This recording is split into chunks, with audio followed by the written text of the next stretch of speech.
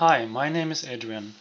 I work on the NFC Tools for Java project and today I would like to show you a demo of a Java applet that can read NDEF messages via an NFC reader. This way you can see what kind of data is sent with Android Beam. Okay, let's start. Once you launch the demo, wait a few seconds for the applet to download and then confirm this unknown certificate warning. Um, here I have a uh, Nexus S with uh, Ice Cream Sandwich installed.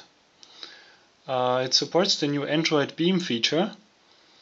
Um, Android Beam is based on NFC technology and allows you to share the information that you currently uh, see on the phone. Uh, let's start with a website.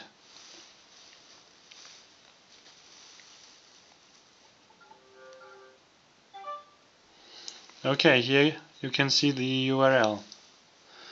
Now let's uh, try a contact. Contacts are shared as vCards.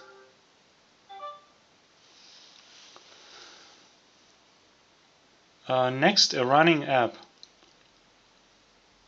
For example, my QR, uh, QR timer app. Once the app is launched, Android sends an uh, Android Market URL and a special Android application record with the package name of the app over Android Beam.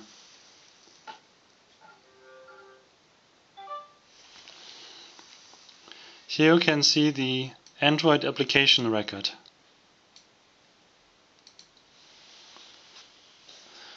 Okay, how about a YouTube video? The YouTube uh, video player can even share the current position within the video.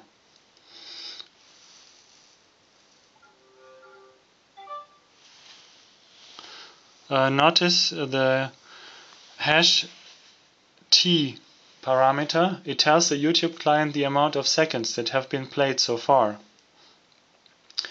I also found out that uh, Google Maps can share the current location as a Google Places URL.